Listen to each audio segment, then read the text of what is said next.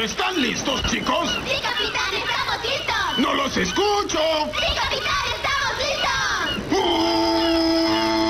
Hola, amigos de Radioactiva. Soy yo, Bob Esponja, y les quiero pedir disculpas porque aún no he ido a dejarles el pedido de cangreburgers que me hicieron. Lo que pasa es que los policías de tránsito me detuvieron en circunvalación y andaba vencida la revisión. Pero denme chance, que ya les caigo. ¡Estoy Bob Esponja.